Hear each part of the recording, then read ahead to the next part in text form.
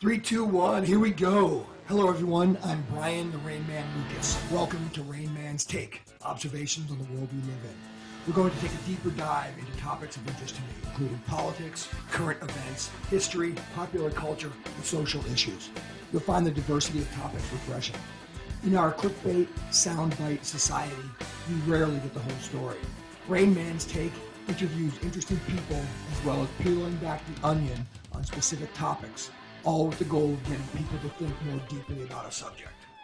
Back to my interview with Bruce Jojo Laughlin. This is the uh, second of a two part series. Uh, if you remember from last week, um, I had Bruce on because he's had a very unique uh, experience in the military, both in combat as well as uh, some of the other billets that he that he had during his uh, during his Marine Corps career. And I just thought it was fascinating. And yes, uh, last week in our first interview, uh, we got through uh, Bruce's experiences in combat in Afghanistan right after 9/11, and then. Um, and then the initial invasion in Iraq uh, in 2003, all the way up until they got into Baghdad. And so, what I wanted to do once we get this thing going is I wanted to have uh, Bruce in today's conversation talk about kind of finish up with the invasion and talk about what he did after that, working his way all the way into uh, into the billet that he had at the end of his career in, in Pakistan. But what I first wanted to mention is, uh, as you can see, we're both casual. It looks like we just got off the golf course. Um, that was a request uh, by Bruce. He wanted to wear his uh, his school colors, so he forced me to wear them as well, which is all good. So, Jojo, why don't you tell me a little bit about it, brother? Well, the school needs revenue. 200 grand for an education is not enough. That is the bottom line. I love it. so I've been uh, I've been laughing with some of these guys uh, on the the gifts uh, section there. You know they're they're hustling and shaking, trying to get more money. And what, you guys don't go started at junior college like I did, and then. Uh, so, so yeah, so uh, so Bruce's uh, that that shirt is TCU, Texas Christian, and yeah. uh, they live in Fort Worth. He, he's a uh, he's a chip shot away from the campus. He got his uh, he got his MBA from there. But what I really think is the reason why he wanted to put that shirt on and have me put my shirt on is that TCU is a very high ranked uh, football team, Division One, and Hopkins doesn't even have has a Division Three football team. Great Division Three, but not Division One. So JoJo, go ahead, have at it. Well, I, if you pay your coach uh, five million dollars a year, you should have a good team. Uh, that's the bottom line. I'll tell you though, the success story around here that nobody wants to talk about is uh, the ping pong team out at Texas Wesleyan. Think about this. I think they've got like 19 national titles for table tennis. There you go. It's absolutely remarkable. It is a uh, and it's something that I'm embarrassed to talk about because it's they're just that good. Uh, but they lost their coach, and not they losers. She moved, uh, and uh, now they're suffering. They need they need a guy like me to teach them. It, it'll go back to ping pong instead of table tennis if I teach them. I love it. Hey, dude. So, uh, so talk to me. Uh, is uh, TCU are they going to be playing this year? Do you know? I anticipate that they will. Uh, I know that the students are going to come back to campus on the 10th of August. Um, I'm not really sure what the circumstances are with the schedule, but uh, yeah, you know, I, you guys should go online, look at the TCU expansion for the football uh, stadium. It, it's mind-boggling. It's actually a little bit sickening, almost like the time you bought drinks for us at uh, Jerry's World. it is nuts. It, it is. It truly is. Um, and I just kind of like, what? Uh, it's a different world you know. Oh, classic, classic. Well, it, you know, it's it's funny because well, not funny, just it's strange. I'm a huge football fan, and all of you out there probably assume by now because I'm from New England that I'm a huge New England Patriots fan and a huge Tom Brady fan. So I'm also now a huge Tampa Bay Buccaneer fan. And I watch Good Morning Football every morning. I, I, it's going to be such a strange season if if it even happens at all. You know. Yeah, and I tell you, if uh, I think it will be a real fascinating test, and it will it will be meaningful for time. If Tom Brady can pull Tampa Bay out, it's going to say a lot about the leadership at that position. And um, I find it very intriguing. So I'm I'm on board, man. I, I'm I'm uh I'm not going to wear my Hernandez uh, Patriots jersey anymore. So, so um, I hope I hope you're not just buttering me up because I'm the uh, the host of the of the podcast here. Yeah, I'm buttering you all the time. That's how I do it. I love it. I love it. Well, uh, regardless, I really hope the season starts, and I really hope we get some football this year. I'm I'm wondering how Cam's going to do. I know. I know it. That, there's it's I'm I'm really excited to see if uh, if the Patriots affect what kind of effect it does have on him. Yeah, is it a bottom up push or a top down push? You know how that's going to uh, interact. There's no doubt that the guy, if he's playing at his level, he's going to be awesome. Yeah, so. yeah, it'll be fun, and hopefully you, you guys don't burn anything down at a federal building. We're a couple more things before we get to the to the meat of our conversation, which is why I wanted to have uh, have uh, Bruce back on. A couple things. So uh, Bruce's TCU. Uh, I went to Johns Hopkins. Uh, the logo here on my shirt is the uh, the the mascot for the Hopkins lacrosse team. I played lacrosse at Hopkins, so yeah. I figured I had to step up my game with the uh, with the D1 versus D1 shirts here. Yeah, we have a frog on ours, so uh, a horny frog or a horned frog. Sexy. Yeah. You know what's interesting? You don't see horned frogs around here. When I growing up out in West Texas, you could pick them up and we would stick them in coffee cans and we'd play with them. Uh, they were everywhere, but they're very, uh, it's they're rare now. But uh, anyway, so I tell these horn frog students, you don't know what a horn frog is. and look at you going from uh, from West Texas all the way to uh, Islamabad, Pakistan. At the end of it all, what a, what a trip it's been you know, in uh, Islamabad in Pakistan is far more civilized than West Texas. well, we're, we're definitely going to get into that in a second. So, a uh, couple things in terms of uh, uh, the studio may, may look a little bit different here. Uh, I point your attention to my new logo on the mic here. Uh, my friend Chassie Bell uh, hooked me up with the new logo. She is a uh, professional design and branding uh, uh, person, and her mm. uh, her website is chassiebelldesign.com. She's awesome. I got the stars and stripes behind me because I'm waiting for my big banner with the new logo. So soon enough, uh, Rain Man's Take will have jumped up a little bit.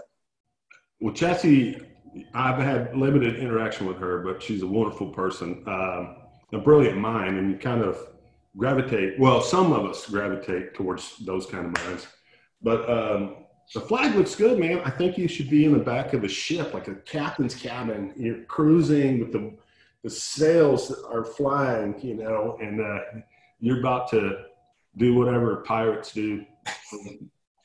I love we'll get into piracy. All right, here we go. A segue into uh, into defending our great uh, our great flag and our great country. So last time uh, when we finished off last week, Jojo, we were talking about uh, you guys pushing up into Baghdad for the initial invasion. So yep. you know that there was a couple things that we didn't get to because we ran out of time. So why don't you go ahead and kind of there was a couple of events in particular that you wanted to touch on about that particular deployment, and then from there we'll start stepping it up into to your to your uh, your deployments after that. Well, one of the things I'd like to reach back to is I I I, uh, I want to talk about uh, Steve Haywood Woodman I, I think I might have said some things that were, I hope they weren't offensive, but I loved that guy. But, uh, you know, just like you being a freshman on a lacrosse uh, squad, he was the big brother, and he was not an easy big brother, but he was a gentleman and uh, had a real wonderful mind. And I learned some really great lessons from him in the cockpit, even though I didn't like flying with him you know, uh, but I, but a wonderful guy and consider him, him a dear friend. And uh, he was a wonderful CO um, because he had a warfighter's mentality. And I found that interesting. And I still think of some times, like I remember going into the, uh, the Delta T, uh, 29 Palms, trying to rush into the objective. And he told me, he said, only fools rush in, slow down, learn what is going on, learn, you know, particularly friendly you know, you want to know the friendly enemy and the position of the target on that nine line. The rest hold on, stop. stop. Did he give you an Elvis quote? He did. In terms of combat training? Yes. That guy's a renaissance. Right. Dude, you know how it is, man. Rushing in that, uh, the, you're going into where the alligator is there in the Delta T area, you know, that, that thing. And uh, I'm like, okay, you know, but you always feel like when you're getting to the objective, you want to, you want to demonstrate that you can, you've got the nine line, you're ready to deliver and go.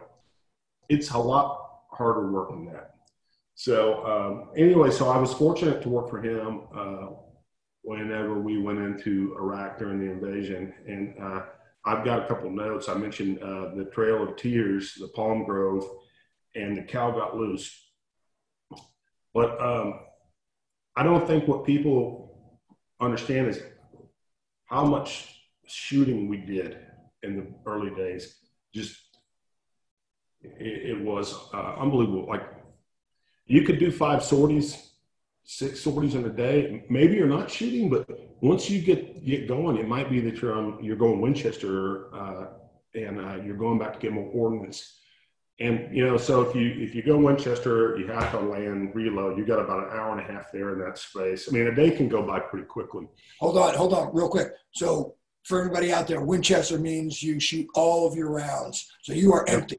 So you got to return back to wherever it was to pick up more ammo and then head back out into the fight. Yeah, and so we would land on the road, and we would have trucks on the road. So just land on the road, get an intel update, uh, reload, uh, get gas, and then go again. And uh, we'd worked for a guy, I can't remember uh, the Forward Air Controller's uh, call sign, but he called us in on um, a, a, compound, if you will.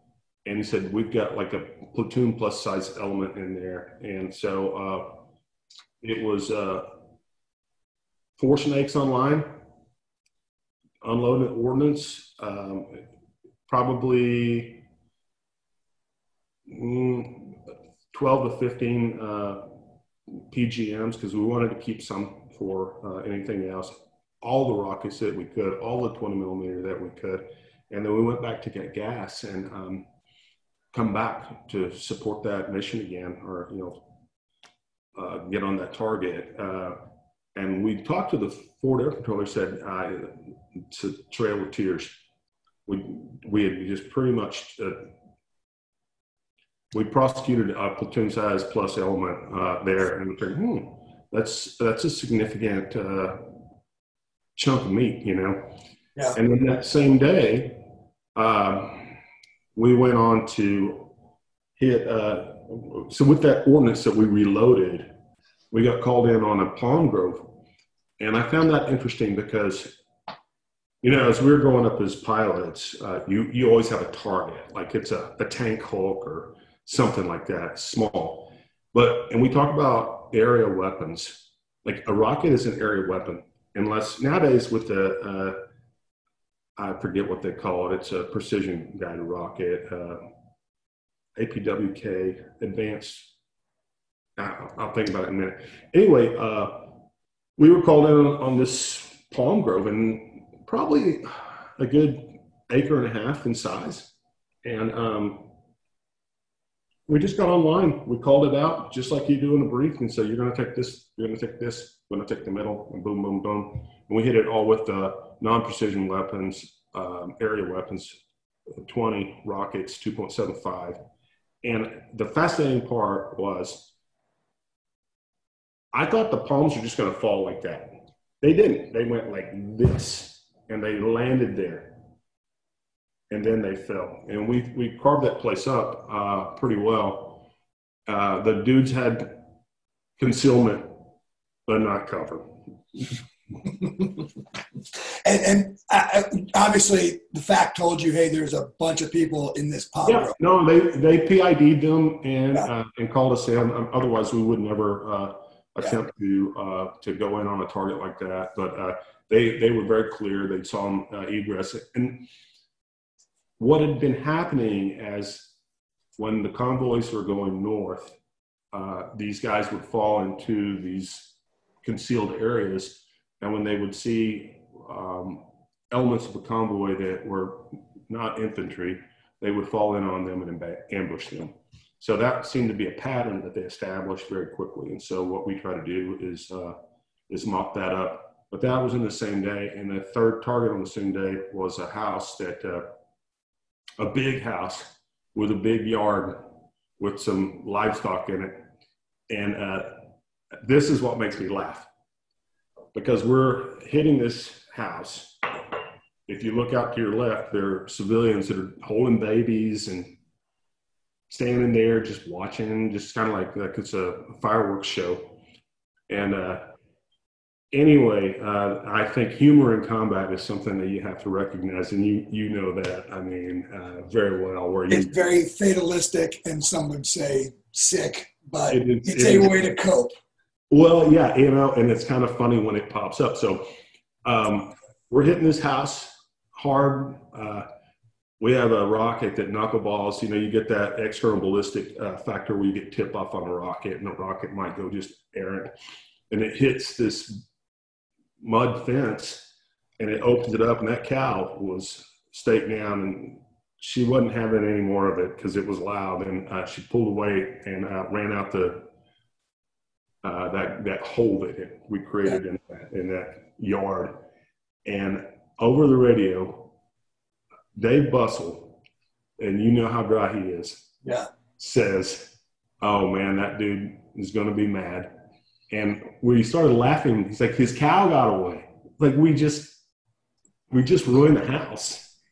You know that. Uh, but yeah, and so we laughed about that and laughed about it. And Dave has a wonderful personality, though. Uh, he's very serious. We all know that. So, but uh, yeah, I think about that. It was, uh, it was I guess the kind of the balancing of the humanity in the in the act of uh, of engaging something like that.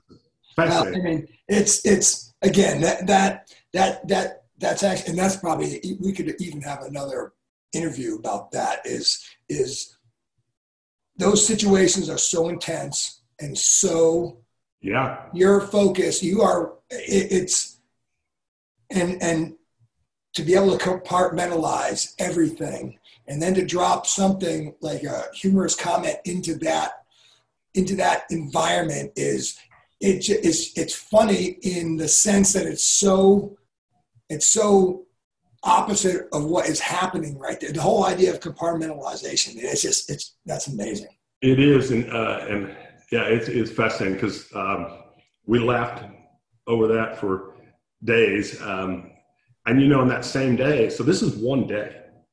Um, we were over the these grassy fields trying to mop up guys. Um, you were so low that the grass was waving. It was tall, tall grass, and you get into optics. And I recall getting on a target, um, and these guys were stripping down, and um, I could see them closely, you know, trying to lay down their weapons, or they did lay down their weapons.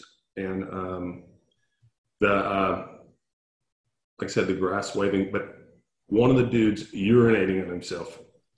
Literally, he knew it was about to come down, and we had to make a decision: Are we going to do this or we not? Yeah. I mean, clearly they had they had met the conditions for the ROE, and um, like, and I think about that guy uh, almost every day I wonder what did you do with your life after this?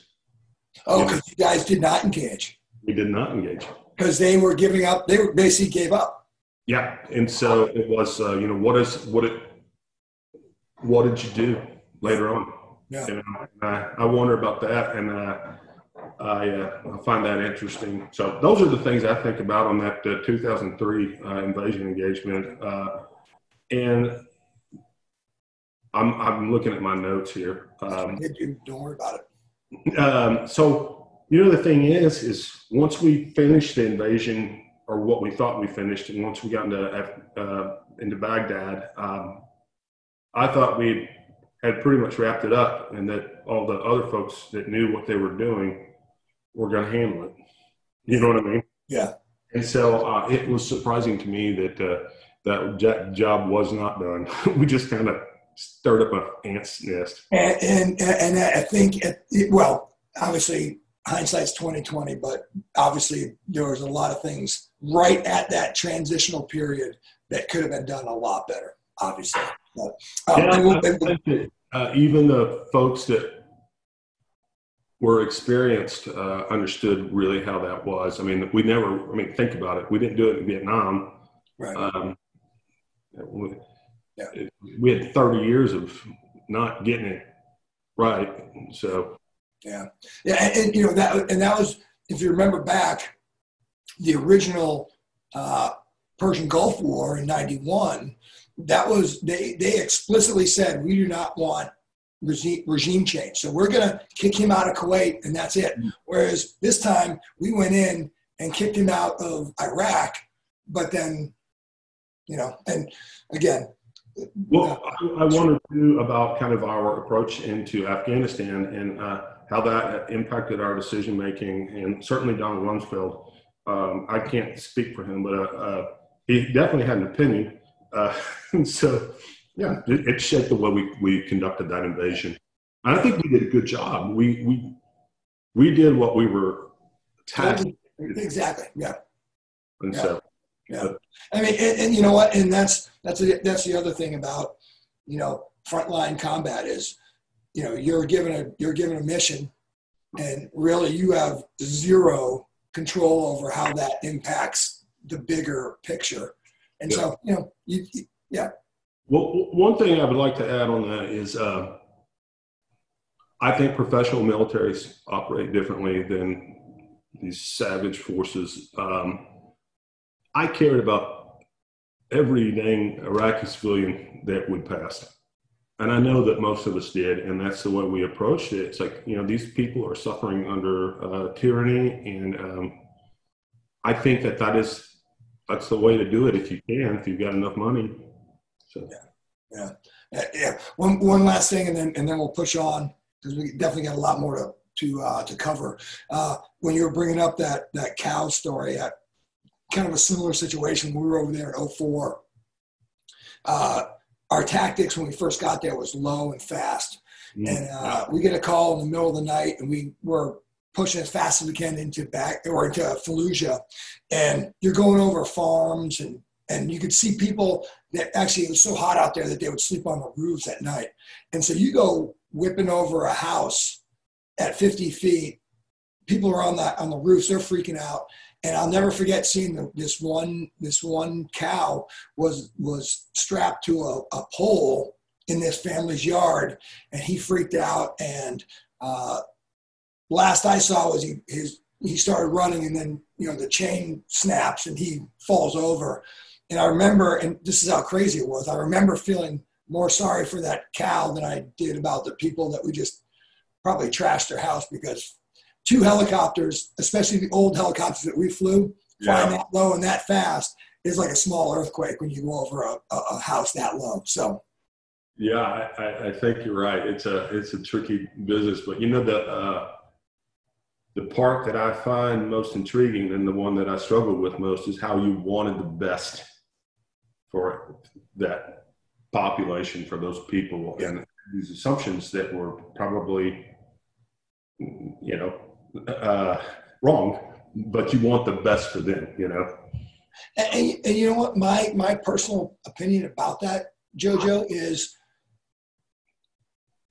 as Americans, we are so lucky to live in America. You just want that for everybody, you know. It, Yeah. It's just and so yeah, yeah. It's a it's a it's a tough spot to be in because you see. And, and we've traveled together. I mean, we've been in, in Egypt together. We've been in Cairo. We've been in Vietnam. I mean, you see, uh, Lao. yeah, yeah. I mean, you see real destitution, and uh, yeah, it, it's a, it's a, it was a, a very interesting, interesting experience for sure.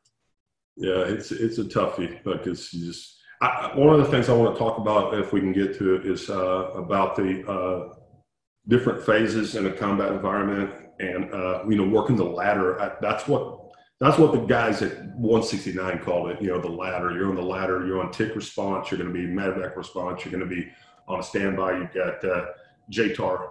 Uh, Yeah. You know, and those dudes just get burned out every single day. You don't know what you're going to get Right. um, I, I find that to be uh, I found that to be intriguing, and it's tough being a, a field grade officer having to get back into the squadron and trying to learn how to play Xbox. with all the young with all the young lieutenants. Good guys too. Love those guys. I was always thrilled to get to fly with them. Just it was the best. You know, they didn't know what they were getting. Yeah. Yeah. yeah. I love it. I love it. All right, brother, let's do this. Let's uh so so you finish up the invasion and when did you when did you return home from there? And then what did you do when you got back to States? So when I returned home, so the invasion, I think it was um, it was July when I got home, and uh, July of 2003 after the invasion, and uh, I got orders to the Expeditionary Strike Group, ESG, ESG three. I was a plank owner there. We stood it up. People don't understand this in the Marine Corps community. Uh, there will be many that argue with me, but uh, I I can stand my ground on this. Um, we used to go out with an ARG of a big a big deck, amphib, and two small boys, three ships. Hold on, hold on, real quick. ARG, Amphibious Ready Group for everybody out. Yeah, I'm sorry. Uh, Which is a smaller version of the Carrier Strike Group that the Navy goes out with. Or an augment to it, I guess.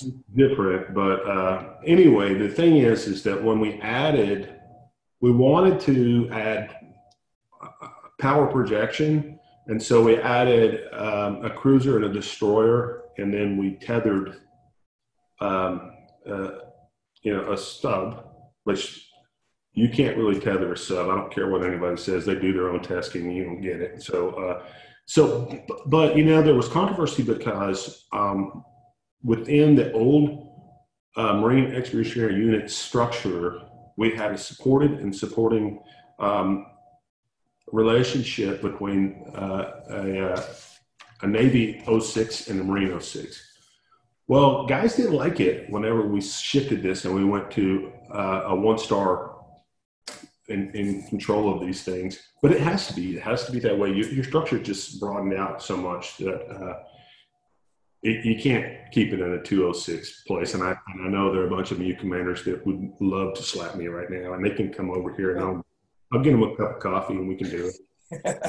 So, uh, so talk to me about that. What was, what was, so you were there for when we, you were at ESG for, for when were you there and would you guys, what were you setting up to do? Uh, we were setting up to go back to the Middle East. Okay. And this was getting ready to, to, to set up the next phase of that, which is where I, I checked in in 04. So yeah, you were, okay. So window, I think in that window there was, uh, I wouldn't call it an operational pause. I would call it a period of uh, operational understanding, you know, trying to figure out what the, because the, the, environment was changing. Yeah. When, when it, it, had changed, when you got there, it wasn't the same Iraq yeah, or Afghanistan that it was. And, and so we were just trying to figure out how to structure uh, these elements. Uh, and there's another piece of that that has to do with, um, kind of the finance of warfighting. If you can get more power projection out of the assets that you have, that's a big deal. Um, so, you know, if, if, you can bring on uh, um, a cruiser destroyer that brings TLAM missiles that have a thousand miles uh, reach, you've got some operational uh, influence that you might not otherwise have with a ready group. Yeah. Um, uh, so just interesting stuff. I learned a lot about that, but because our, our staff was, it was Navy and Marine combined. You got to learn to love the people you're sitting next to, regardless of what uniform they're wearing. And, um, you know, and then getting on a ship, seeing how hard those guys work. Uh, we trash talk. We do. Uh, uh, Marines are not understanding of how hard it is to run a ship. To run a ship with, uh, you know, 2,000 people or 1,500 people and do it every single day. And uh, we talk about rust pickers and stuff like that. I mean, it's not fun, but they do and, it. And, and I don't know what it's like now because I've been out of the Marine Corps for 14 years, but back when, when we were in, it was tough to be woke. Yeah. Yeah. It was very tough to be woke. You had to have, uh, you had to have a hard shell on you. All the time. And still do. But you know, the, the, the nice thing was, is, uh, the guy that took over ESG3, who started it, was uh, Colonel Medina, and uh, he was a gentleman. And I mean that in the best way. And he would tell us when we would start to fuss, don't get in the mud, mud with a pig. You're just going to get muddy.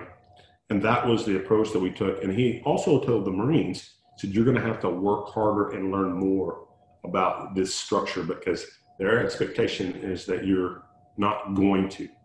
And you're going to drive and learn and learn what it is to, to, to be on a ship and how the Navy uh, does their business. So, yeah, good things. I, um, I, there are things that I learned that most Marines don't. Uh, for example, um, you know how difficult it is for underway replenishing, refueling. That's a good one too. Um, a ship has to. They look at the salinization of the water, the coolness of the water, the terrain, and how that affects their noise signature, because it's a dangerous time to uh, refuel. It's stuff like that that I learned uh, with those guys, and uh, yeah, I really appreciated it. And, cool. And, and, you know what? And and man, you can wrap that into what's going on in today's world. Is you know you you you start off you know maybe busting a community's chops, then you actually live in that community. You realize that hey, these guys actually it's a pretty important job and they know what they're doing. So there's a respect that's gained, and that, that's a good thing. Unless it's Worth or Dallas, which they're a bunch of losers. I'm teasing. I love I love going to Dallas. Um, yeah, that was a great experience. And then uh, I was able to take a break from that. Uh, I, midway through a deployment, um, I got orders to go to command and staff. And uh, I will say this. Now, hold on real quick. That's one of the top level Marine Corps schools for, for field grade officers. Yeah. And where is that located? This was in uh, Quantico. I went to the Marine School because I didn't. Virginia, just outside of DC. Got it. Okay. Here's the beautiful thing about that. Just as you mentioned that, we had wonderful lecturers, wonderful lecturers. I, I had a lecture on the Federalist Papers from uh, Justice Scalia. Scalia. Wow. Yeah, that ain't bad. Yeah, and uh, the staff, the way they structure it is 200 and something students, but you have uh, these conference groups, mm, 12 to 15 people, and um, but you have a, a, PhD at the table and you have a, a field grade, or not like a 06 at the table, and and they kind of they kind of run the way the structure of that uh, discussion goes, and you have tons of resources. I mean, you get a banana box full of books, and it's not you don't have to read them all. It's like read read chapter one, chapter six, yeah.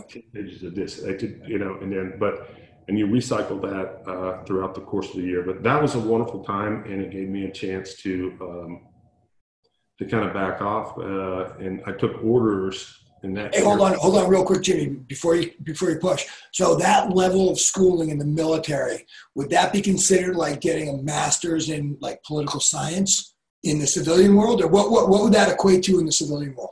Uh, it would be uh, like a, a, master's in national security. Gotcha. Um, in the Marines, I would I would criticize the Marines because we call it an MMS, Masters of Military Studies. Yeah. And if you try to pitch that to uh, civilians, they're like, "What? That sucks!" Like you're learning to shoot an M16 or something. Yeah. You know, the Navy guys they go to the the War College and it's uh, National Security Studies. Uh, yeah, gotcha. But, yeah, it, it, it's interesting. I didn't know anything about the the interagency cooperation. I had no idea. I couldn't tell you at that point the difference between the FBI and the CIA. But you know, you get those classmates in, and uh, and actually, I worked with them in Afghanistan. Um, all these different agencies, and you just you get an understanding. So yeah, kind of interesting stuff. But uh, I love that. That I think that's the highest, or that's the best education I ever received. Um, yeah, I bet. What uh, for you personally? What was that like to go out of the desert fighting to, you know, w- you know, classroom work, and you know, was that was that a tough transition, or were you excited about it? What was your what was your take on that? Well, I will say this: typical Marine Corps fashion. They said this is an education uh, environment, and you're, you know, we're going to give you a pause. Yeah. Uh, then it was, hey, we're going to have a formation and we're going to run a PFT. So, you know, the old dog can't get off the stop its tricks. But I love it. Yeah, it was wonderful. Um, I it it taught me to think at a level that uh, I wasn't accustomed to, and it's not that my mind wasn't good enough. It's that I I didn't have those I didn't apply those processes, and uh, they yeah, it's a wonderful school, and I we read so much. I, I, it was the best academic experience of my life, and I've gone to some decent schools. So uh, no offense to TCU. Yeah, no offense. We can well, we're going on that pathway. I have, I have conversations. I love it. I love it. Awesome. All right, man. So, all right, finish up with that school, and then it's then then where do you go? I go back to uh, Camp Pendleton. I thought that they were going to stick me up in uh, headquarters or something like that. So I was I was very much ready for that. Yeah. And I talked to uh, the monitor, and he said, "What do you want to do?" And I'm like, "What are my options?" He said, "You want to go back to Mag 39?" I'm like, "Oh yeah, I do." you know what I mean? It's like, yeah, I want to get back into the gun squadron and go. Yeah. And I get to Mag 39, and you know this well because uh, this was 2005, and you guys had already been, I mean, you, you double pumped uh, 773 yeah. and, and wore those guys out. They were really struggling to uh, staff the war in uh, Iraq. We kind of let down Afghanistan a little bit.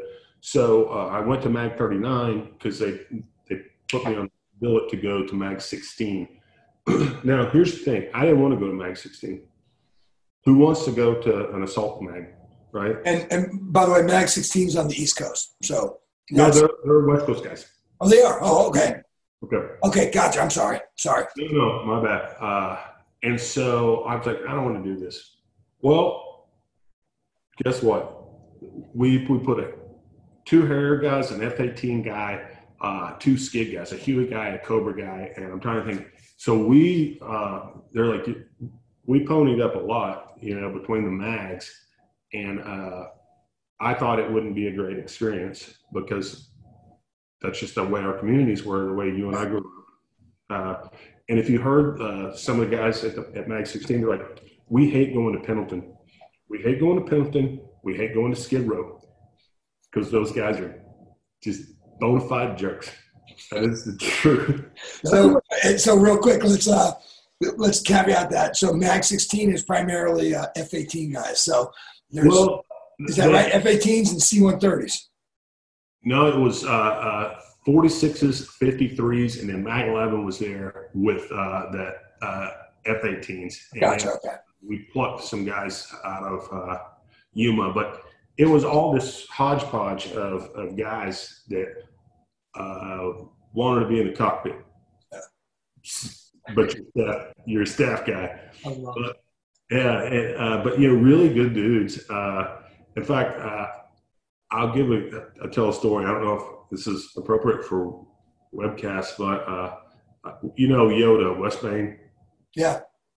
So Yoda kept getting uh, all these care packages from uh, Trader Joe's, and uh, anyway, we started trash talking. I said, "Dude, what's up with that?" He said, "Well, my dad works at Trader Joe's." And we're like, "Is he like? Does he sack groceries or something?" And um, like now he's the CEO. so just just kind of funny stuff. So uh, yeah. those are the things that sustain you uh, in that environment. Just the that bullshit that. Uh, you know, it, it's funny that you mentioned that because uh, when we were in Iraq, uh, Trigger Pace. Yeah. Um, his uh, his brother at the time was an executive at at Starbucks, and so we would get these care packages that were like the we had coffee makers, we had biscotti, we had yeah. Starbucks coffee. So our tent in Iraq was the place to be for for coffee. Yeah. I believe it. You guys, uh, reserve dudes for sure. Uh, the I forget the number of the unit, but the gray the gray geese, the gray gooses, or uh, 46 squadron, the reserve guys. Those guys were uh, they were totally hooked up, and uh, you could go by there. You know, if you're you think you're gonna be like, oh, I'm a I'm an active duty guy. I'm a you know these reserve dudes. Ah, go there. You, they got a popcorn machine They've got all, they get so much stuff. It is the best, you know, and uh, really good dudes. And uh, I love being around those guys. And you know, you can always depend on them. Uh, uh, on a mission, they they could hit the timeline. Um, yeah. But you know what? The different thing was uh, with those guys is they wouldn't just take any slot mission. They knew when to say no. Yeah. And guys like me that. We just settle up and go, you know, but they maturity. But uh, yeah, it's interesting that time. Uh, and going back to you, uh, that was a tough time when the insurgency was starting to build. Because because you you actually went you went back over in 06, right? Yes. Yeah, yeah. So we were there for 04 and 05, and you you checked in right when it was that was at the height of the chaos over there. It was deep, deeply dark. It was uh, it was something that you couldn't shake uh, in terms of uh, it's hard to comprehend uh, the nastiness of, of human behavior at that time. Um, and you couldn't really like, guys worked so damn hard and you know it as a Huey guy you do a, a oh an escort mission or something like that uh, your your crew chiefs are just looking out. They're looking out like crazy. They see everything. They'll see a trash bag that wasn't there you know uh, a few days ago. And it's hard work. And i I, uh, I put that in my notes you know I, the dry hole and the it, it those dudes work so hard and you go out four or five hours in a day and not see anything. And then the next day things just explode. And uh, and you do that day in and day out you just don't get a sense of you don't get a sense of satisfaction unless you're getting on target and um, you know in the PID process and all that stuff was pretty slow unless somebody's going to raise a weapon at you, right? Yeah. I mean, you had to go relay it back via uh, whatever net you were on and had to wait for somebody to put a splash diagram down and target's gone. Yeah. Well, uh, before we get into uh, the, the next question I wanted to ask you, what was your take uh, going from the invasion, which was basically all guns are off safe, it's shooting at everything, to 06 when you're there, it's more of a kind of a policing type environment where you actually almost you've got to be shot at before you can do anything and get get positive ID like you're talking about. What how did you feel about how that had changed? Well, I, I felt that uh, in the the window that I had been absent from that environment, that I had a lot of catching up to do. Gotcha. Uh, and and like I was saying, flying with some of these young guys, uh, that uh, I, I want to pause this piece right here, and not the tape, but uh, I flew with guys. I went to a weapons and tactics conference with three captains uh, out of 169, and um, we were staying at the Diplomat Hotel in Bahrain. And uh, they told me, they said, "Sir, is this what a, a port call is?" And I'm like, "What are you talking about?" Uh, we, since they were lieutenants all they did was deploy to the desert. They'd never been on a port call. They'd never experienced anything like that. And so um, I was surprised when I flew with these guys how um, they were just talented. They were so good, and um, it made me feel like you know our community is is doing good. But uh, um, I don't know. The war had changed. It had changed, and it was a lot tougher uh, in terms of engaging the target. They had all the skill in the world, but they just had to make a lot more judgment calls. Yeah, I believe. So yeah, interesting. Hey, yeah, real quick, the uh, what you just mentioned about those young captains. The one thing that I found fascinating was, um, you know, our generation of pilots that had grown up kind of in the '90s and then started the war. Uh, you get these young guys, and that's all they knew was not only deploying to the desert, like you just said, but basically a combat zone, and that, that's all they knew, which is crazy. Yeah, and the other thing is that I mean, some of these guys. I mean, think about first lieutenants uh, out flying and uh, you know getting shot up, and and that experience just it, it was a wave. Those folks that were right on the cusp of the invasion, and uh, particularly, I think of 169 guys were a little bit I won't say less mature, but the, the, the age difference was just a few months, right? You know? They didn't have enough time to really get wrapped up into the squadron and, and uh, qual up, uh, and they they just went and went, and um, I found it remarkable, and it was interesting to fly with them, and um, I, I just was so surprised at how talented they were. You know, given that I I felt reasonably talented myself. You know, but uh, uh, yeah, it, it, it's it's cool. But you know, I, I will put a pitch out there. There were a couple of those guys that they they almost burned their careers. There were three. My dog, sorry, three pump captains, right? And they they had uh, they had gotten in trouble for uh, getting a little liquored up and tipping over some porter johns. Yeah.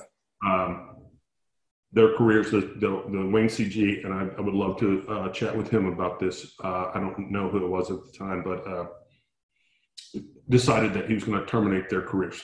Yeah, and they did that over there in Iraq in the combat zone. Yeah, yeah. And, there were three pump dudes, and uh, well, there were three pump on my time. There were two pump dudes at that point, but we'd invested millions and millions and millions of dollars on these guys, and they were talented uh, pilots and uh, and really good young men that just um, a, a night that went a little crazy. They were leaving. They were leaving the zone. So you know, what are you going to do? Like they've all they've ever known as uh, young pilots as being, uh, you know, in a combat zone. So I I don't like that. Um, I hated that when I was uh, I was flying with these dudes on their third pumps as captains, you know, and uh, got to learn a little bit about them and uh, just wonderful wonderful pilots and you know just anyway i'm yeah. i get sentimental yeah no i hear you i hear you all right so let's uh let's hit on so iraq 2006 uh specifically that was a time that we were hunting zarqawi.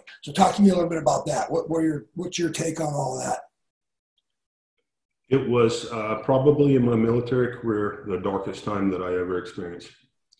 Um, zarqawi was a nasty human being. Um, I think that Zarqawi actually influenced the war in Iraq uh, by virtue of the fact that he was so bad that it turned a lot of people away from the Al Qaeda cause. I think he, he, he strayed from that.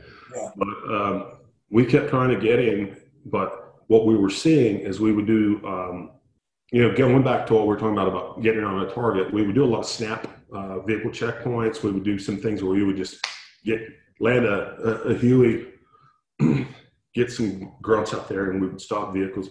Yep. And what we were finding was this sort of plague of kidnappings and murders, and it wasn't a war zone anymore. It was just uh, it was a, a, sick killing field, and um, we would always plan these missions because we were because Zarqawi was splitting over towards the Ramadi area. He would bleed into the west, and then he would come out to the east. And so, you know, you were targeting here with the Marine assets and then uh, targeting with other assets uh, when uh, there was intel that's, you know, suggested he was out east. But um, I don't know. It was just a real uh, heavy, heavy, heavy feeling. And it's like, I, we want to get Zarqawi. And so you have a raid that's planned. And you're like, yeah, we're going to get him. You have all this optimism. And then you wake up to go see the, you know, that the actions on the raid with the uh, you know the surveillance and everything. Dry hole dry hole dry hole nothing nothing hits. And so uh, it was just one step ahead of the game it seemed like huh? one step ahead man. You're right. You're totally right. And so you know it, and then uh, we were at the same time looking for uh, missing personnel. We were trying to hunt down uh, you know a journalist um, and uh, it was it, you just it, it, hitting, you know, kicking it through the field goal, which is hard to do. You know what I mean? And you relish the successes, but there were there were for every one success there were 20 disappointments, and I think that uh, that really weighed on on me personally. And I, you know, going back to you know some of the air crew and stuff like that, uh, it weighed on them. And the IED fight was almost unmanageable in terms of getting your mind around it. Um, what's fascinating is Mag 16 had um, their um, Yeah, sheep. I'm drawing blank. It must be the beer in my Afghan uh, cub. There, uh, the flight surgeon was um, a psychiatrist. That's how thin we were. Yeah. Surgeons to support. Yeah. Well, uh, it turned out that he was the best ever. The reason he was is that uh, we were using these 46s for Casevac and uh, picking up these guys that were just mangled. They were mangled from IEDs. And uh, it wasn't the pilots that needed the flight surgeon. It was the, the, the crew chiefs and crewmen that uh, they had to actually deal with the guys in the back. Yeah. Deal with the, all those uh, those bodies. So I would say that's why 2006 for me in Iraq was a very uh, uh, dark time. But you know, to um, to kind of characterize it a little bit more, one of the things that Al Qaeda did was they uh, all the bakeries and stuff like that they shut them down. They shut them down, and the people felt frightened because bread is such an important part of uh, of life in, in, that culture. But yeah, it was it was not um, you know it wasn't an easy time, and I certainly was disappointed whenever the Air Force dropped bombs on him and got him. So uh, cheers to the Air Force, but not cheers to the Air Force because we wanted to get him. It would have been interesting to uh, to to get a um, you know to capture him and develop intel and, and understand the nature of that organization. But uh, he was operating outside of that. He he wasn't. Uh, he was on his own program. I mean, in a vacuum, that's inevitably what happens. Is the thugs and the, you know, I hate to say it, warlords because he wasn't one, but those are the type of people that take over in a vacuum. You know, so. Yeah, and uh, I think it took a, a, larger emotional toll on some of our young uh, troops than we realized because it just was a dark cloud. You know, so what are you going to do, right? Yeah, yeah, man. So, um, so what else in terms of uh, of 06, uh, so you get done with that deployment. So when did you go over? When did you go over in 06 and when did you get back? That 06 deployment was uh, um, a 10 month deployment for me. Uh, I'm trying to think when we went. I just know I came back in uh, like September or something like that. No, actually, it was August. I, I, vividly remember being on a flight to uh, Germany and smelling the sweet grass once I got out there and having my first beer. Just it will always be the best beer I ever had in my life. Yeah, really wonderful. But I could I could see uh, these little steeples from the churches that were covered by the trees, but the steeples steeples would pop out, and uh, the beer was wonderful. It took them forever to pour a goddamn beer. Oh my god! I mean, you read this, boom, it's like, like I need a, I need a beer. You're about ready to go over the bar at the guy. Dude, that, that's funny you said that because when we got back, when we left our after our second deployment, we uh, went from Kuwait to Shannon, Ireland. And uh, you leave Kuwait, it's nasty, hot, humid, brown, tan colors. And you wake oh, up yeah. and you're in Shannon, Ireland and it's bright green and wet and beautiful. We, we got into the airport at the airport wasn't even open. We landed at like 6 a.m. and they had called in two bartenders to work the uh, the the bar in that part of the airport. And it was one of those. Every it seemed it almost like every unit went through there because there were unit patches all over this bar. Yeah. These guys worked their asses off for about an hour and a half pouring Guinness for all of us, and that, those are the best tasting Guinness of all time. Yeah, I'm I'm with you. Uh, speaking of unit patches, and God bless the Vipers because uh, I augmented them for some time. Uh, when I was at uh, the FACA school in uh, Coronado, Viper patches or stickers were in the urinals. Those dudes were just so. that, that I love them. They were so arrogant, but and it's a good organization. But like you know what, you would stick a squadron sticker in a urinal, and uh, it makes me cry almost. I'm sorry. I love it. I love it. All right, so you get back 06 and then you what I want what I want to touch on for the for the next for the remaining portion of the of the conversation here is talk about your experiences in Bahrain and then your final one in Pakistan. So you get back in 06, and when did you head over, and, what were you doing in the interim before you went over to Bahrain? So I told you it was a it was a, a ten month deployment to uh, Iraq. Uh, it was supposed to be a year. I got offered the uh, or um, the OPSO position. That was a big deal when you want to make lieutenant colonel to be a, a OPSO. Um, so uh, at 267, and uh, so my CO, uh, Colonel Close, was like, "This is a good deal for you. We need to let you go and go do it." And I thank him for that, or I thank him. Uh, anyway, uh, I get there, I get started up there, and then um, I uh, we were so all right, 267 for anybody that's a gun squadron dude. They were supporting two thirty first 31st a year. They were supporting the 13th MEU. They would always have one deployed, and they were working up one, and they had guys back. That is a huge challenge. That is a that is a massive challenge. Yeah. Uh, so it was an interesting uh, position as an OPSO, but uh, the work was so hard that uh, I chose to uh, take a debt out and go to Okinawa and go to 31st MEU. And uh, I got there and they're like, we want you to be the OPSO. I'm like, I don't want to be an OPSO. You're going to be the OPSO. Boom. That's right, because you were destined to be in operations your entire life. I suck. I promise every, every in, anybody that knows me knows that I'm the worst ops guy ever. So, uh, yeah, so I did that. And then uh, Wheels contacted me and he said, uh, you know, I got selected for uh, Lieutenant Colonel. I said, uh, we want you to go here. I'm like, I don't want to go to Marine Forces Korea. So, well, how about going to Bahrain? And Will's, you know him a hell of a lot better than I do. He's like, well, you know, you need to share the load with the force, you know, blah, blah, blah. Like, like I've been deployed the whole time. And he's like, well, other people need to deploy. That's how Wheels couches it. That's how he's, he's just that, that bright. So I took orders to Bahrain, and it was an interesting tour. Again, going back to the Navy, I had uh, that experience with ESG three. I knew the Navy.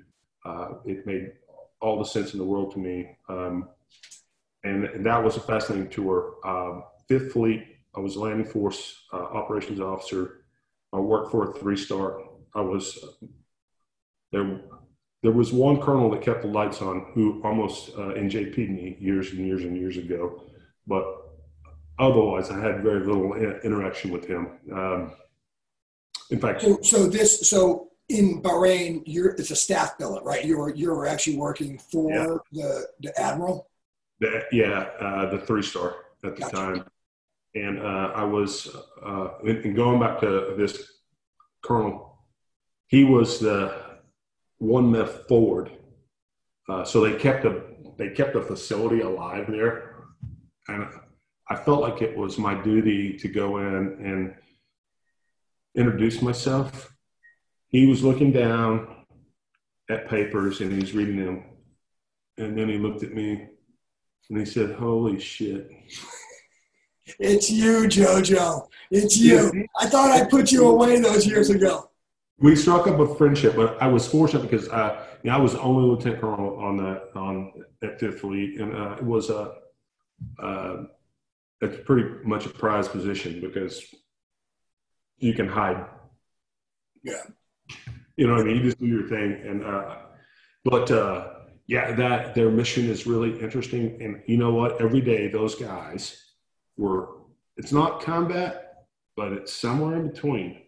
And they play a political game when you're talking about the, uh, the Arabian Gulf, the Straits of Hormuz, um, the Gulf of Aden, counter piracy, and all that stuff. And uh, and when we would have a 1.5 presence with our carriers, so we would have one waiting out, one in the Gulf.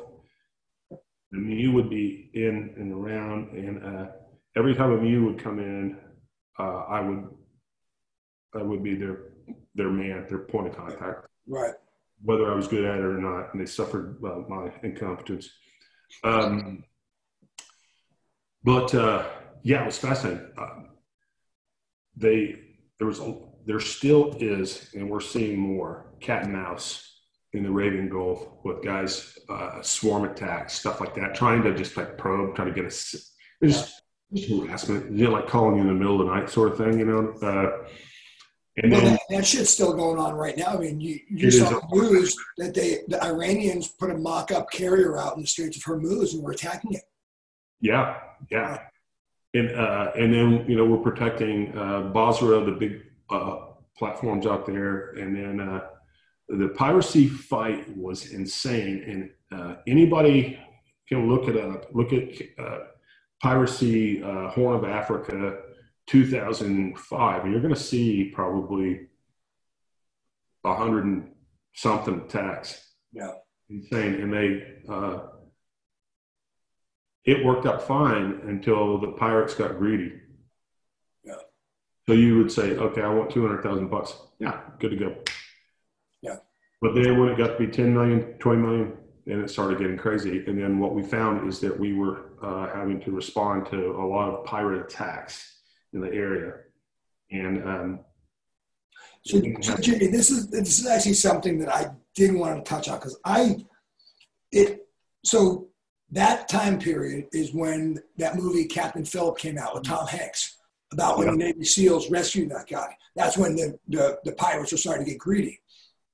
I don't fully understand why every single shipping company doesn't arm their boats with a a squad of former military guys to kill those pirates when they come close. What is it in the maritime law that makes that acceptable? Well, I'm not a maritime lawyer, but I do know this. You can't pull into a port. Uh, you can have a certain amount of uh, defensive weapons, yeah. but you, you can't just pull into international ports with uh, being weaponized. Um, and we had looked at not we. I have talked to a lot of guys that wanted to uh, for services where you pull out, you're going through the, the Gulf of Aden, and uh, they're going to uh, on board, uh, but you can't bring that stuff in. And so, and, and you know, they they stretch wire around uh, these rails, and you know, like barbed wire and stuff like that. We've looked at non-lethal weapons. There's a host of things that just didn't prove to be um, successful. It it didn't outmatch the desire of these desperate people from Somalia. That is the bottom line. That is my opinion. Yeah, it just that that still has never sat well with me because literally those pirates are running up to a huge tanker with these small little boats, being like, "Hey, we got you. You know, yep. give us money." Yeah, you know, and you look at their equipment; it's all bottom up uh, yeah. approaches. They hook, hook and ladder, boom, get up in there. they're uh, but uh, the these maritime uh, sailors are not. That's not their thing, and they know it's not their thing. And like, you know what? I'm not. I'm not going to deal with this. The company will pay for it. But if, if you go back, look at 2005, look at the records of uh, how many ships were seized by uh, pirates. It will it will blow your mind. And um, the ransom that was paid, it's usually pretty low, like a couple hundred thousand. But when you start getting up to like a 20 million bucks, you're, you're going to bring on something else.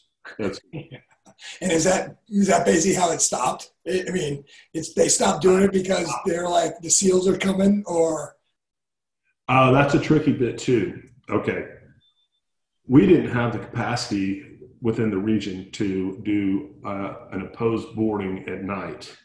Um, we just didn't. Right. Because we had decimated our special operations force or excuse me, had distributed them uh, in Iraq or Afghanistan. Yeah, yeah, those guys weren't available, and uh, and it's hard because what people don't understand. So I, I, went through a planning process with this. What do you need? Well, I need at least four aircraft.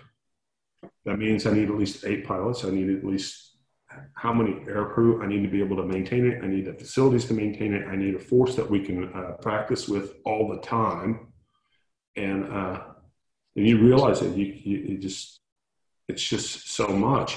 That's why the MEU was. So, so, so it's more it's more cost effective to just pay the little ransom and be done with it. The insurance companies paid the ransom, but once we got down to the heavy stuff, uh, it was more uh, just bring in the best guys you can get from the states. They can get in, they fly them in. They those dudes are hard, heavy hitting guys that uh, they're they're ready to go. But you know, you can't be ready for every mission set. You got to be, but th- but they're ready to do it because those things are uh, those are tricky ops. Um, but we used to be able to, I would say, to do uh, a medium risk sort of opposed boarding e- even at night, but uh, it it takes a little bit more than that. The, the best dudes to do So, it. so let me ask you this from, from like a macro level. So Fifth Fleet is that's their that's their area of responsibility all over that part of the world where most of that piracy is taking place. How, how much how much interaction do they have with those international shipping companies? Is there any interaction at all, or is it more just government to government? Hey, you need you to protect these guys, type of thing. What? How does that work?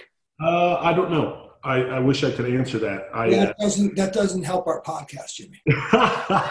no, I I think that you know there's some limited uh, contact, you know, uh, because sailors have a sailor thing that they do where they talk and all that, but uh, I don't. Uh, I I definitely think that there was some discussion uh, with these companies and what they're doing uh, that was at a level that I, I didn't understand. I I ate chow. I, I surfed the net, and uh, I talked to Marines when they came in country. That's it. So my my my vision of Bahrain is kind of like that.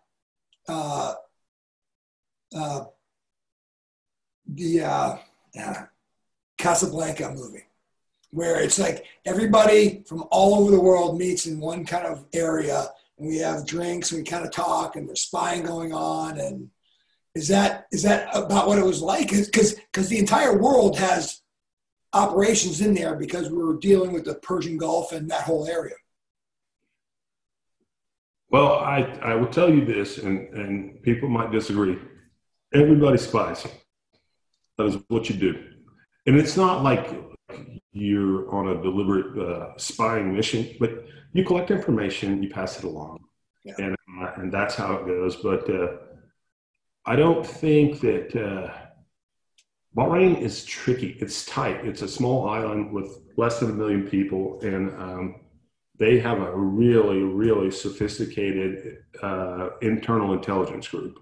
It's more of a police intelligence sort of thing.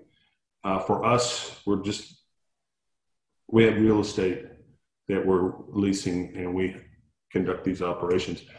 But it's fascinating. You know, I worked on some projects where with the the Bahrainis where we wanted to upgrade their equipment, and there were things like, "Well, we want life vests." I mean, life vests we can do that all day long. You know that like is that how we're going down this road? But Yeah. yeah, it's, it, you, it's a hard hard place to get into. But uh, I I found it to be very interesting. It was very uh, culturally diverse, um, but that whole region is tricky, and you you don't break into it. Uh, So at this point, your your sort of view is starting to expand. So you've been in Iraq, you've been in Afghanistan, you've been down in the weeds, hooking and jabbing. Now you're starting to see the big picture.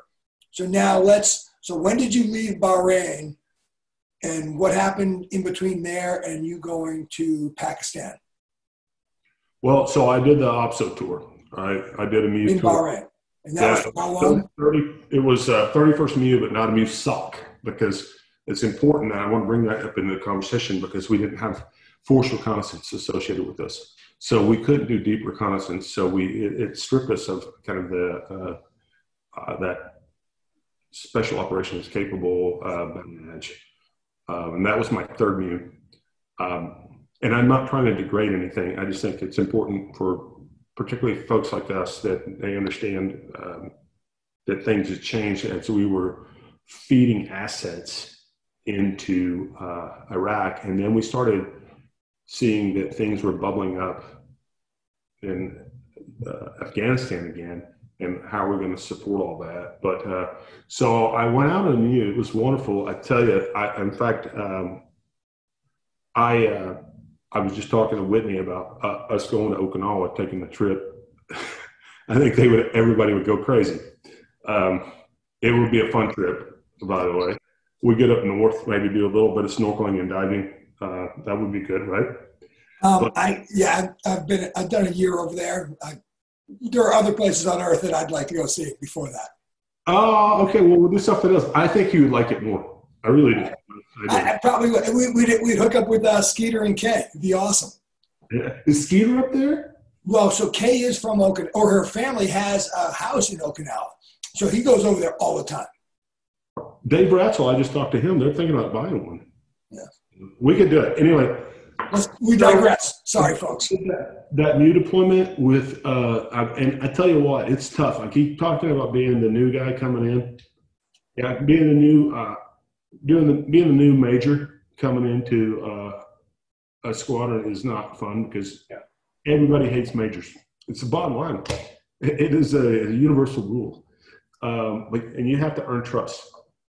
So we went to Oki. We did a 31st MEU det that was it was uh, a very good debt. I took the guys. Um, I had 53 dudes on a detachment to uh, Thailand, and that is not a bad thing for 45 days.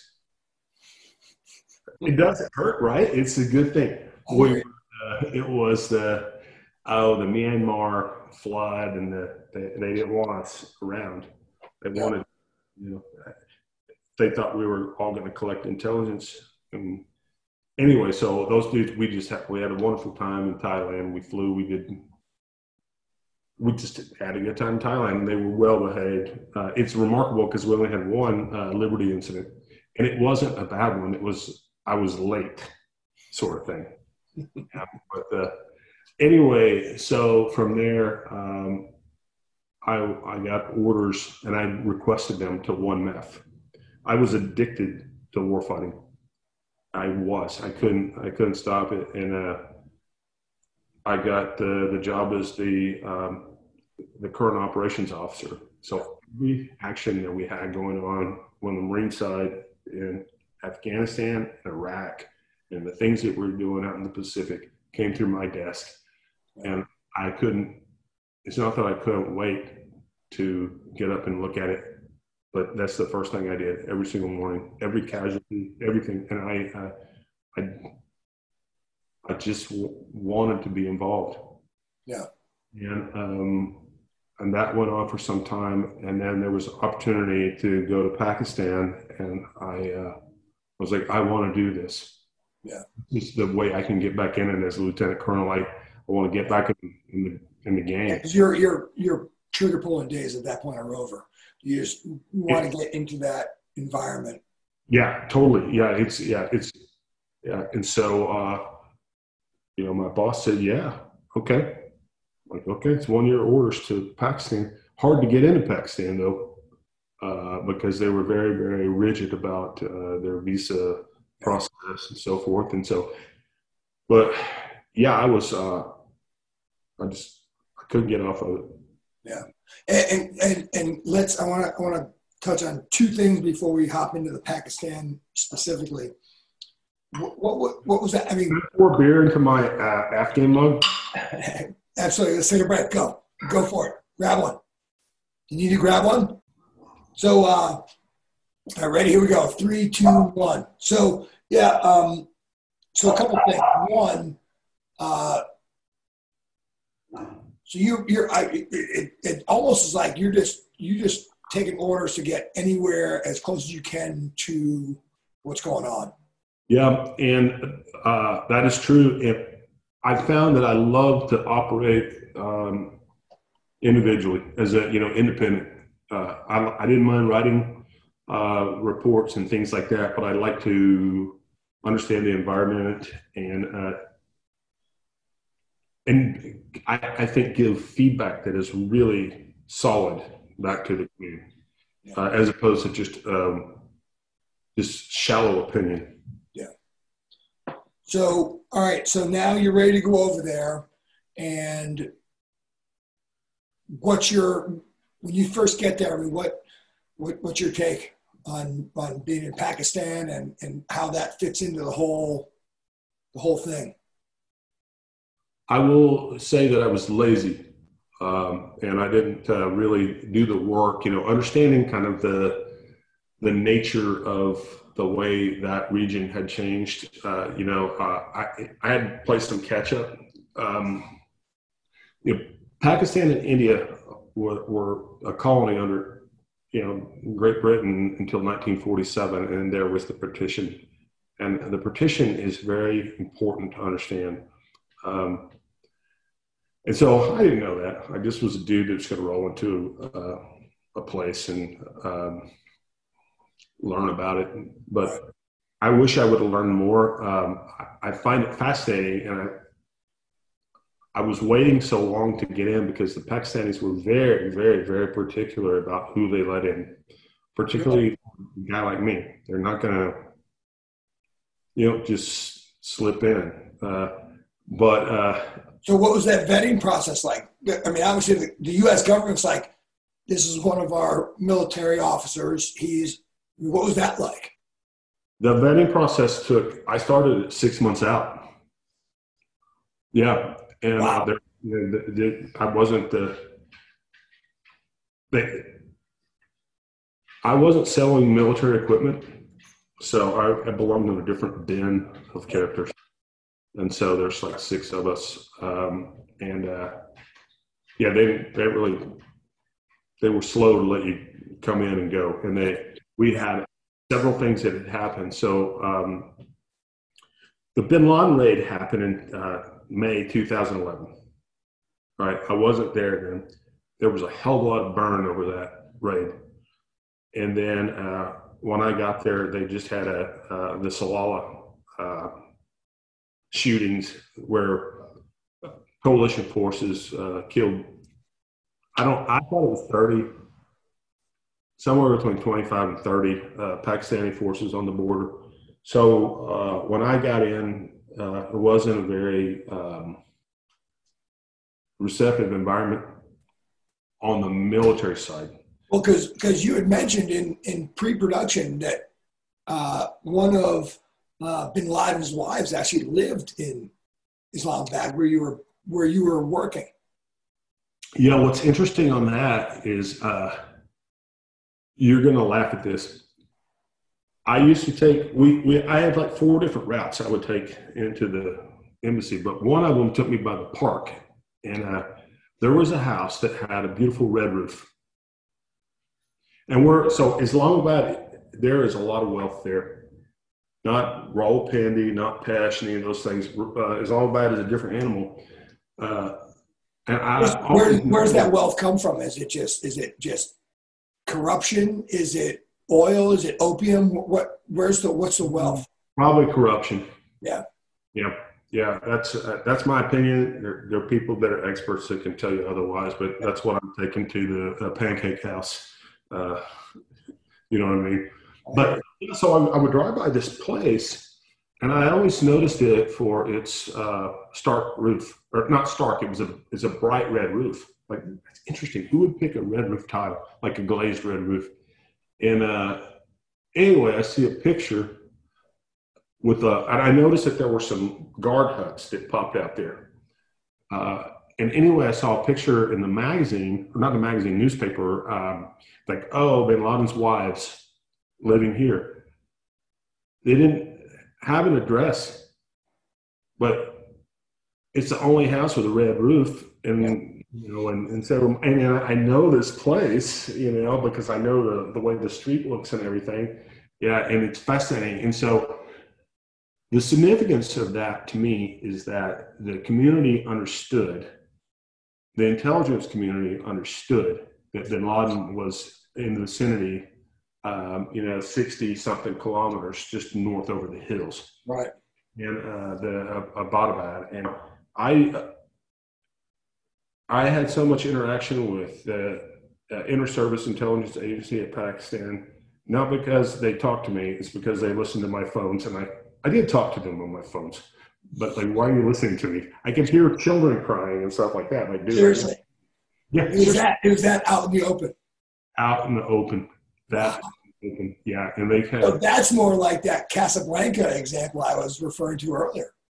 Yeah. I've never seen Casablanca. I'm going to. I'm going to do it this week and we'll. I figure a, a, TCU alumni would have seen that already. I know. You know, uh, it's like Sports Illustrated and uh, like you know swimsuit stuff. I mean, that's what we do.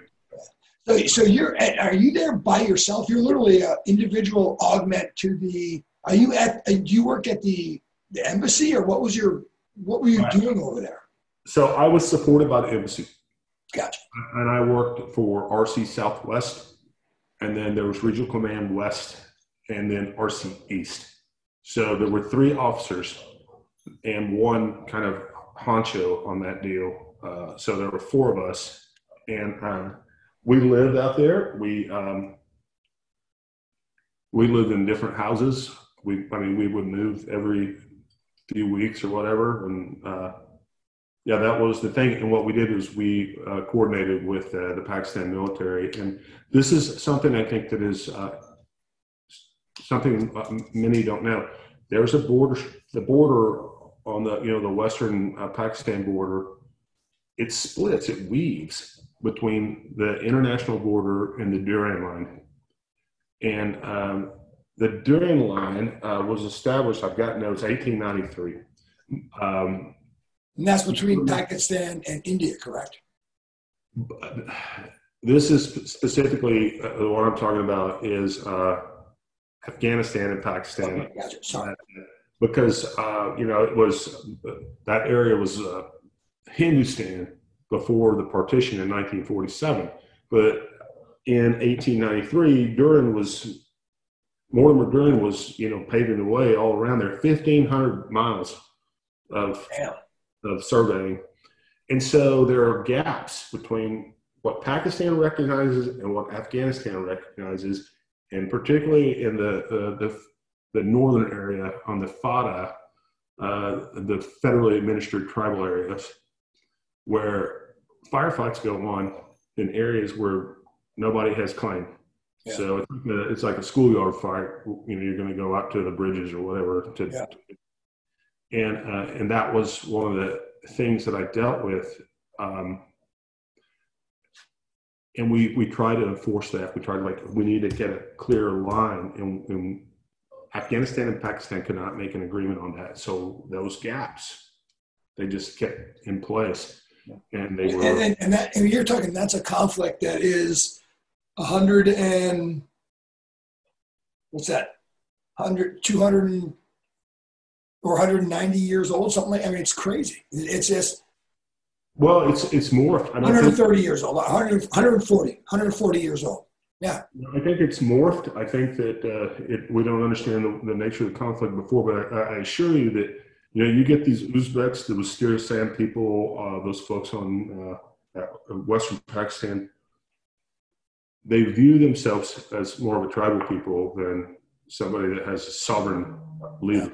Yeah. Uh, and uh, Pakistan and Afghanistan, they've yet to be able to dig their feet in and make that happen. Yeah. And the tribal connections are just disruptive. Yeah. That's. I, and it seems like to me that the only, like, in our modern society where we accept the fact that nation states have borders, you would almost let those people kind of have at it, just quarrel amongst yourselves, except now there's nuclear weapons involved in that whole discussion. Ooh, that's a different one. We can't talk about it. Okay. That, Maybe uh, Yeah, we can talk about it over a beer. And that someplace. But, uh, Sorry, I didn't mean to. I didn't mean to. Uh, no, no, I'm too close on this topic. Gotcha, gotcha. Uh, so, yeah, dude, talk to me. G- give me. Um, so, in the final analysis of your time in Pakistan, I mean, what do you what do you think is, is what, what what what was your takeaway when you when you left there? I, I think that I was uh, tired and uh, disappointed for the people, and I would say discouraged. For the people of Pakistan? Yeah, you know those there the people I met so many really wonderful people there, um, and then I met some bad ones. Yeah. Some uh, I I mean I met. Uh, you know, guys that were that just hated uh, anybody that wasn't Pakistani. But you know, they didn't have power. The military has power, and that is the bottom line. There, there is a very sophisticated, uh, you know, political party system, um, and and they can mobilize people quickly um, to riot and do crazy things. But nobody has faith in the government, and and people will say, Bruce, well, how do you know that? Because you had limited interaction with the Pakistani people. I did have interaction with uh, Pakistanis that work at the embassy. Um, and they're like, we have no faith in government, no faith in government. They love the military. And the military is in a really sweet spot because if the government fails, the military can come in, yeah. lift it back up, and then we'll get some stuff in there. So we support democracy. But they've got it um, and the military has a uh, it's a it's like an organization. I mean they they have farms. They've got industrial complexes, and so it's a really fascinating thing. And you know what? Here's the deal: you would think that I would have a, a bad taste with those guys, but I worked with some of these dudes, and they were brilliant. Um, the ones that I dealt with were top level dudes, spoke better English than I do because I'm from Wink, Texas, um, all day long, you know. And most of those guys are probably educated in the West, right? Yeah. And, uh, yeah. And it's interesting because their structure is so rigid that I would roll in. Uh, no Pakistani general wants to talk to me.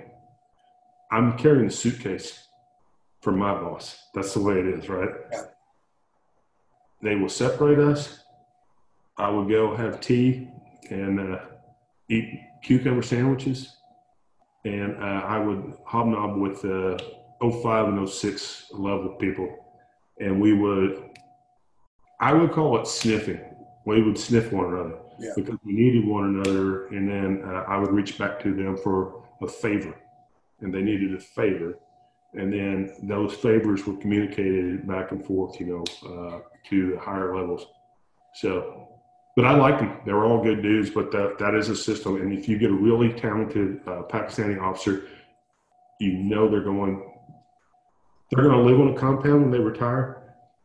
They're going to draw from the industrial state that they've created. And that is that's my perception. I could be wrong. And before we leave, though, I want to talk about chow halls. Have at it, my brother. Where? Chow halls where? What part of the world? Oh man, what do you want to talk about it? Well, uh, I uh, the chow hall that I had in Iraq was actually pretty good, pretty damn good. Um, until that one F-18 did a low pass over the chow hall, and people thought a bomb went off, and everyone dove under the tables. I will tell you a good F-18 story we were at 29 Palms. I don't remember what year it was. We had these restrictions on where we could fly. You couldn't fly over Camp Wilson. You remember that? Yeah. Well, uh, this F 18 just blew by there. I don't know if we went in burner or whatever, but it just like sonic boom, crazy. And uh, one of the guys, it might have been, might have been Steve Lightfoot. I don't know. He said, uh, "God, you're not supposed to do that." And the pilot said, "I quit once. I can do it again." That's the uh, that's the the reserves motto. Those dudes were the best, and the other one was uh, we know how we would have codes for lasers and stuff like that.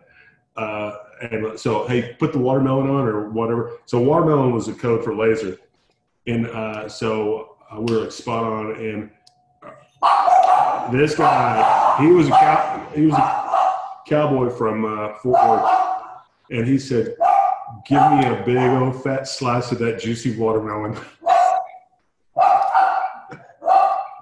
I love it. I love it. I love it. Well, I tell you what, JoJo, this has been awesome, brother. I want to wrap up. Helmand Province, Camp Leatherneck has the best chow hall. Really? I've eaten at all of them. I, I traveled around trying to get the best food in Afghanistan. Uh, Bastion was okay. IJC was okay sucked. What made Helmand Province the best? Is that where the Air Force was? No, it's where the Marines were. Can you believe it? Oh, no, I cannot. No, yeah, you wouldn't believe it. I mean, you know why it was the best? Because it was normal. It wasn't like they were trying to do any good lettuce and tomatoes and uh, just regular food. Uh, they didn't try to go crazy. And uh, I think IJC uh, in my record, and I've been in a lot of these chow halls, was the very, very, very, very worst. And I can't say very many more times. when you i am going to throw in one more anecdote and then I'm going to give you the final word. But okay. uh, so 03, I'm in I'm in the reserves, but we haven't been activated yet, so I'm still doing my day job of commercial real estate. One of the clients I had in Carlsbad was actually a ketchup company, if you can oh. believe that. And I do not remember the name, unfortunately. So I'm working a deal to help them find new office space.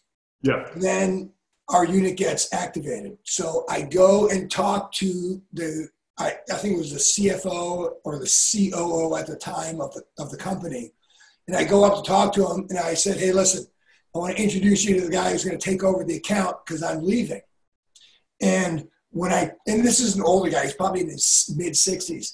And when I told him what was happening, the guy literally teared up and stood up and gave me a big hug. And literally, three months later, I'm in Iraq at the Chow Hall, and the ketchup was supplied by that company. Oh, it was just kind of a small little world, you know, small little world type of thing. So it was kind of cool. It is, and you know, uh, I don't think that people understand how important it is to go get a good meal and it doesn't have to be fancy, but it's like it's what you do. And there's so much bullshit that goes on, and uh, you know that's the way you catch up. Uh, speaking of catch up, um, but uh, I was going to reach on a, a couple things back to uh, Pakistan. I was privy to sit in on a lot of negotiations. I was a note taking son of a bitch. Uh, that's what I did. That's you know that was the, the job you're literally a fly on the wall for some serious diplomacy going on.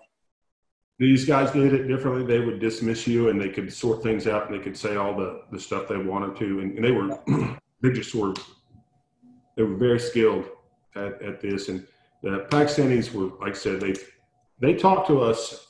They chose to speak English. We had interpreters because they wanted to demonstrate that we're we're on the same level here. Yeah. Um, but this was a time when, uh, after we had those the Salala killing, um, not killings, but the, that attack, um, they were like, "We're going to cut off, you know, your ability to uh, move transport through the the southern line of communication." And so we're like, "Well, we can't. We need that because we were coming in from the north." right? And, um, and north and south, but we could use shipping to take us in from the south. Well, anyway, they're like, yeah, you can do it. Nine thousand dollars a container. That's what they wanted, and it wasn't like um, they knew that it was insulting. Yeah. But that's the number they pitched. Yeah. So that's how this uh, uh, that thing uh, went, and I watched these guys uh, work their way down. And, uh, you know, kind of our circular method was, all right, we're going to push more from the north and then we will burn our, ourselves to death doing it with air to get in. So we're, you know, we can play this game. And it was fascinating to watch, uh, uh, you know, that go on. Um, and the other thing was, is we would talk a little bit about the border, then we would get into some of these other things, and then it would be, um, what are you going to do about ammonium nitrate? Because that's what they're making bombs out of. Yeah. And then they're like, the farmers like ammonium nitrate. And, you know, so it was this sort of thing. And I'm, I'm looking at this, I'm witnessing it. I'm like, wow, this is uh, out of my pay grade. Uh, yeah. And, uh, you know, how are you going to hunt down these dudes? Like, well, we sent a platoon up to the mountains and we got 19 heads uh, that got sent back to us. yeah, it, yeah, just uh, wow. kind of, yeah, it was like we're we're doing our part, but you don't understand the um,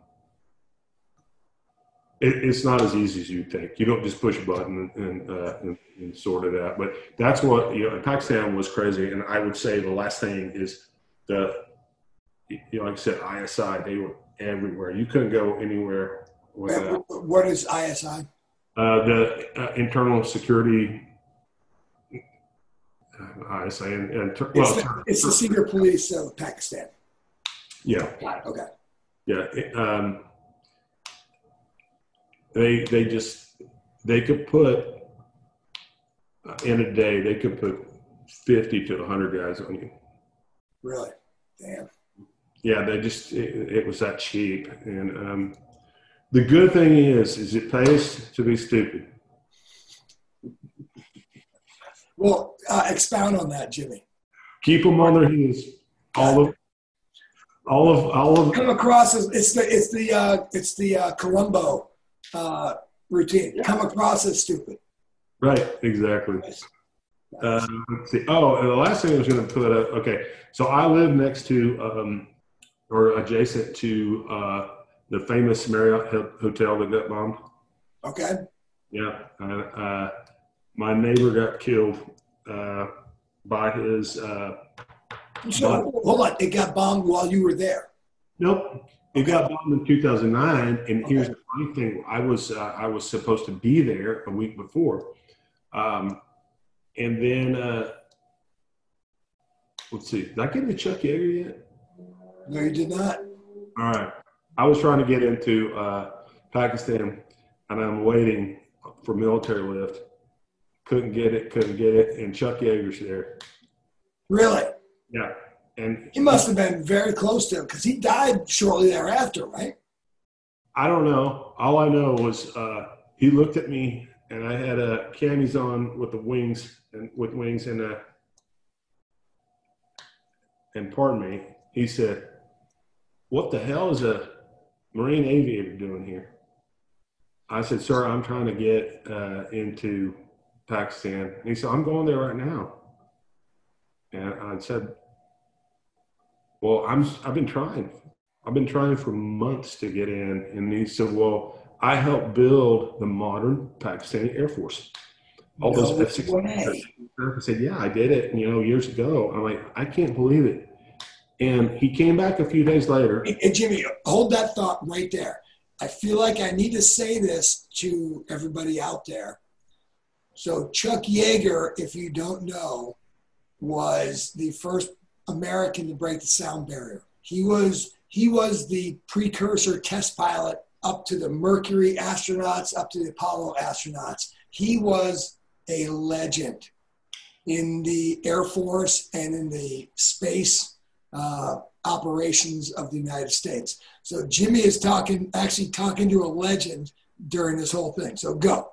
Yeah, we're trying to get into Pakistan, and uh, he's he's a celebrity there and he gets a dang visa just by a virtual conversation. he got you into Pakistan. I'm trying to get in. I'm trying to get in, and, so we have a conversation about what I'm going to do there, and we have a conversation about building the the Pakistani Air Force. And so I would go because we had a flight that would be scheduled not because we only had a few flights that ever went in there when I was there, but four maybe. But they would play games with us. Um, so your flight schedule come in, they would cancel it cancel it, cancel it. And uh, so I'm waiting at IJC, and Chuck Yeager comes back through, and this is the brilliance of that guy. He said, "Bruce, what the hell are you doing here?" I said, "Sir, I'm trying to, still trying to get in." That's that was the conversation. And then you got in.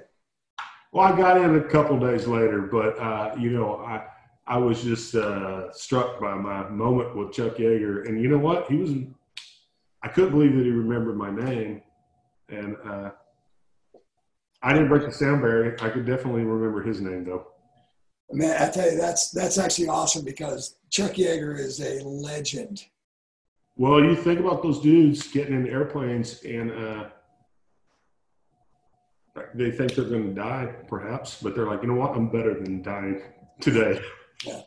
Uh, everybody out there, if you haven't read it or seen the movie, The Right Stuff, you'll you'll know all about Chuck Yeager. So very cool, dude. That's I awesome. up with it. Yeah, I, I appreciate you uh, taking time with me.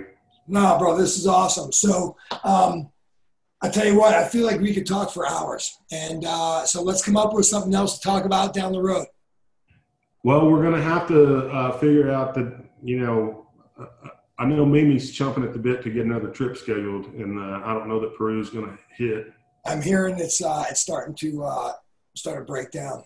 Hotels are starting to cancel and all that. So, And then the places you and I want to go are just too crappy for anybody. So, uh, I love it. I love it. right, well, hopefully uh, Hopkins uh, will pop up, and uh, we'll be having some uh, lacrosse pretty soon. I love it. Hey, so uh, real quick, let's do this, and, and obviously I'll, I'll trim out some of that stuff. But uh, Bruce, great talking to you. Thank you very much for your time.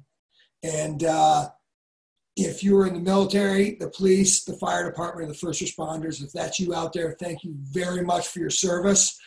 Jojo, it's been a pleasure, my friend. I look forward to seeing you soon. Always, man. And I like the background, dude. You can't beat that. All right. All right, guys. It's the Rain Man. Take care. Thanks for watching Rain Man's Take Observations on the World We Live In. If you like the content, don't forget to hit the subscribe button below. You can also follow Rain Man's Take on Instagram at Rain Man's Take. Also, check out our website at www.rainmanstakepodcast.com and send your comments to rainmanstake at gmail.com. Keep an eye out for future podcasts, which will be coming out every Thursday at 5 p.m. West Coast time.